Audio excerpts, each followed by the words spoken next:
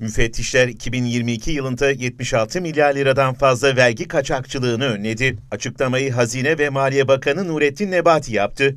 Twitter'dan paylaşım yapan Nebati, bakanlığımız vergi müfettişlerince 2022 yılında yürütülen denetimlerde 77.610 mükellefin vergi incelemesini tamamlayarak 207.958 adet rapor düzenledik. Söz konusu denetimlerde 76 milyar TL'yi aşan tutarda vergi ve ceza önererek vergi kayıp ve kaçakçılığıyla kamu zararını önledik ifadelerini kullandı.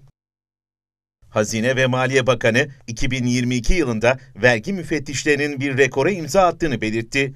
Açıklanan rakamlara göre vergi müfettişleri 2022 yılında yürütülen denetimlerde 77.610 mükellefin vergi incelemesini tamamladı.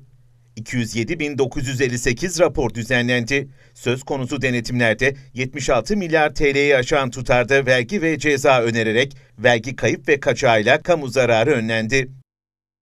Hazine ve Maliye Bakanlığı incelemeleri tamamlanan 23.780 mükellef hakkında 24.466 adet vergi suçu raporu düzenleyerek ilgili kişiler hakkında Cumhuriyet Savcılığına suç duyurusu yaptı. Hazine ve Maliye Bakanı Nurettin Nebati, vergi kaçakçılığı ve terörün finansmanıyla mücadele edecek, vergi kayıp ve kaçağı nedeniyle oluşan haksız rekabeti önlemeyi kararlılıkla sürdüreceklerini vurguladı.